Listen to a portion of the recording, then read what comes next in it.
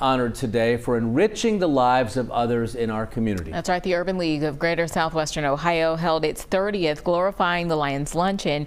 Each year, the Urban League honors distinguished leaders who have shown a commitment to serving the community and improved Southwestern Ohio uh, through their words, actions, and deeds. Well, this year's honorees included Calvin D. Buford, Dr. Karen Bankston, Michael Fisher, Dolores Hargrove Young, J. Philip Holloman, and Johnny Pepper.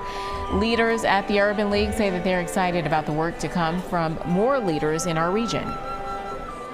We want to continue to focus on disrupting generational poverty. So whether that's our black women in tech, our building futures, where we're giving people an immediate path to livable, thriving wages.